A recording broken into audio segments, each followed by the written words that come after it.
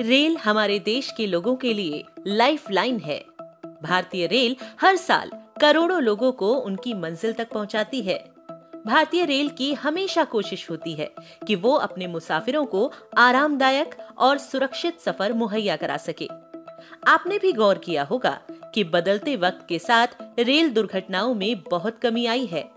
लेकिन लाख कोशिशों के बावजूद ऐसी खबरें और घटनाएँ सामने आती रहती हैं, जिससे रेल और रेल में बैठे मुसाफिरों की जान माल का नुकसान होता है।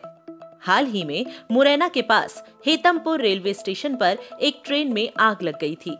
शुरुआती जाँच में मालूम चला कि आग डिब्बे के बाथरूम से शुरू हुई थी। इसकी दो वजहें बताई जा रही हैं।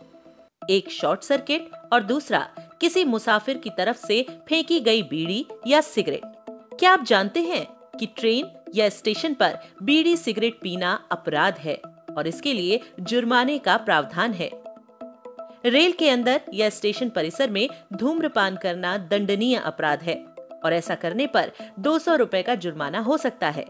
इतना ही नहीं, रेल में ज्वलनशील पदार्थ ले जाना भी दंडनीय अपराध है। ऐसा करने पर हज़ार रुपए का जुर्माना या फिर तीन साल की सजा या दोनों हो सकते हैं। रेल अधिनियम उन्नीस सौ नवासी की धारा एक के तहत ये अपराध है।